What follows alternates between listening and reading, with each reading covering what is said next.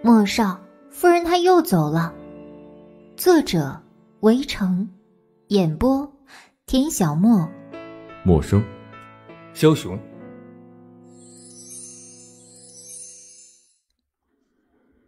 第二百八十一集。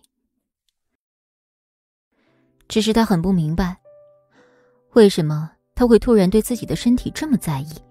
因为之前的齐军从来没有过问过自己的身体，一直都是跟自己吵个不停的状态。今天这个现象也确实有点反常，自己已明明嘱咐过家里的人，不让他告诉齐军自己身体的状况。他也知道，自己的佣人一向是很听话的。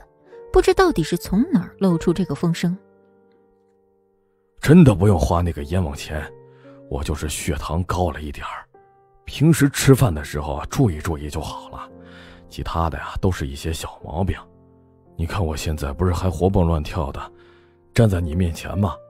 让我跳绳，我给你跳五百个。听到自己父亲如此乐观的回答，齐军心里更不靠谱。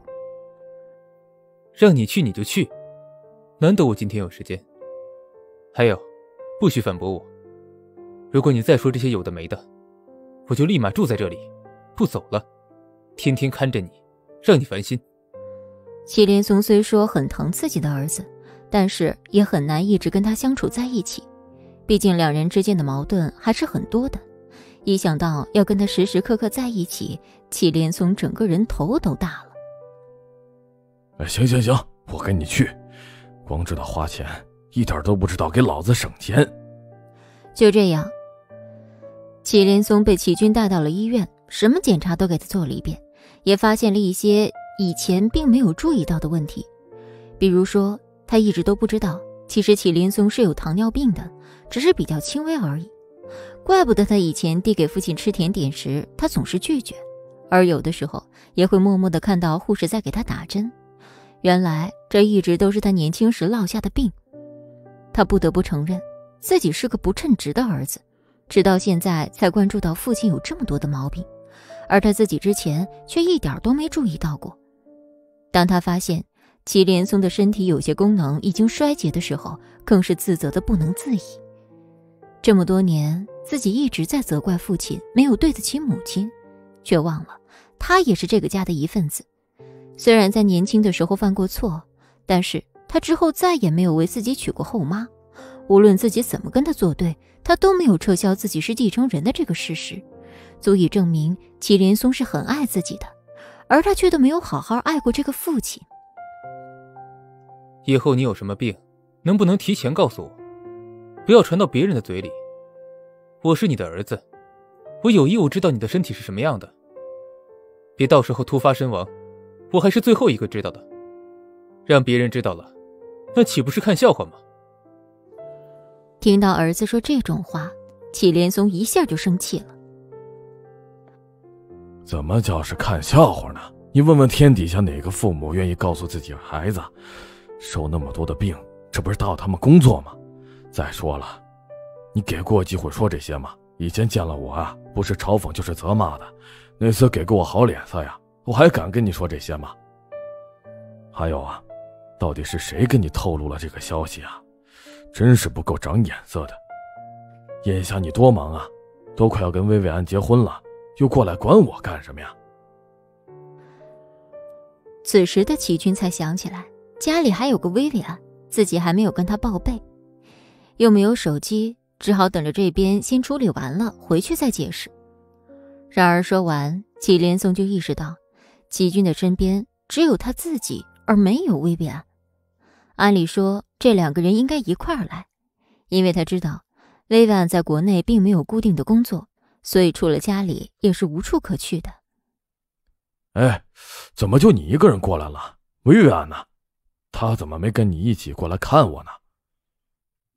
要不是祁连松的提醒，齐军早把这个女人忘到九霄云外去了。她在家休息呢，你别管她。你就先说说你自己，都病成这个样子了，还不去医院养病，还在家里窝着干什么？等死啊！说到这儿，祁连松便笑了。那不然呢？我都一大把岁数了，你让我去医院那个地方发呆啊？你这不是要憋死我吗？我在家里看看书，逗逗鸟，养养鱼，不是更有利于身心健康吗？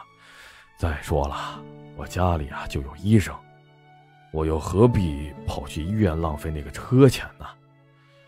倒是你还没有回答我，究竟是谁告诉你我现在的身体状况？是谁那么多嘴啊？是唐婉清，我昨天跟她偶遇。至于她是怎么知道的，我就不知道了。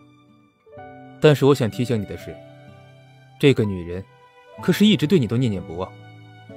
没想到一大把岁数了，打扮的还是那么嫩。她是一点没把自己当外人呢，当着我的面数落了我一顿，说我平时不够关心你，连你得什么病都不知道。哎，我说你们都这么大年纪了，还搞这种地下恋情的？祁连松才没有跟唐婉清搞地下恋情。他们一直都是很纯洁的同事。年轻的时候，祁连松忙于工作，所以忽略了祁军的妈妈。平时说话最多的人，也就是唐婉清了。然而他早就知道唐婉清对自己有非分之想，但是为了不捅破那张窗户纸，就一直都是互相安慰、互相鼓励的关系。没有想到，有一天自己能睡到他的床上。而且正好被齐军跟他的前妻碰见，这才导致他的前妻心灰意冷跳了楼。但是他从来没有对不起过他的前妻，也从来没有出轨过。只能说，在他最能陪伴妻子的时候，没有好好陪伴她，而是把一切都奉献给了自己的工作。祁连松之所以有现在的成绩，也是跟他年轻时的打拼分不开的。但这些齐军并不知道，他眼里的父亲。就一直是一个管理挣钱的人，也从来没有珍惜过他父亲为他打下来的江山。要知道，这些江山可以让齐军少奋斗四十年。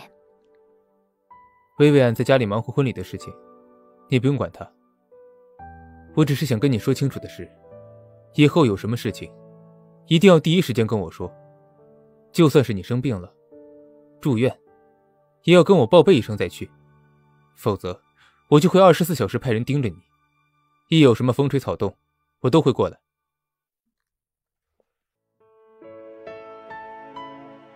再见。